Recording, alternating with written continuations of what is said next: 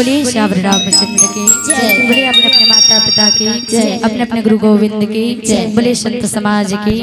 बोले जय जय श्री राम। जय जय श्री राम। जय जय श्री राम। जय जय श्री राम।